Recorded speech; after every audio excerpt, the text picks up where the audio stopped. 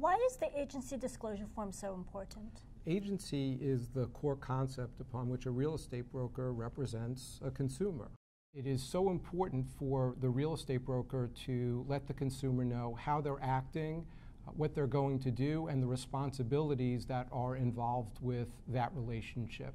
The principal engages the agent, and the agent accepts that, uh, that relationship, that responsibility.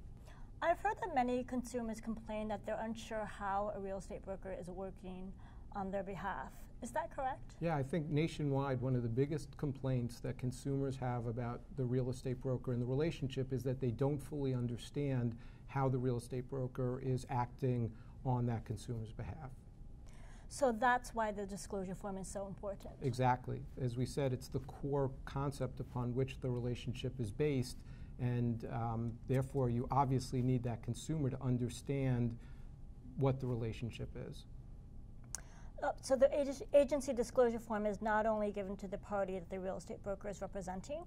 That is correct. In, in, fact, that is a very big misconception. I like to think of the agency disclosure form as a big business card. And the purpose is to give all the parties an opportunity to understand how the broker is acting in connection with that transaction. So, for example, if I am the broker and I am representing a seller, and I am meeting with a buyer, I will give them the agency disclosure form that says I am representing the I am representing the seller. I am not giving them the agency disclosure form that I entered into with the seller. I'm giving them a new form that says I am representing the seller in connection with this transaction. Okay, so to be clear, the form that's given to that prospective purchaser, is that the same as the form given to the seller? No, actually, uh, if I'm engaging with the seller, I give the seller a form that says, I represent you, the seller.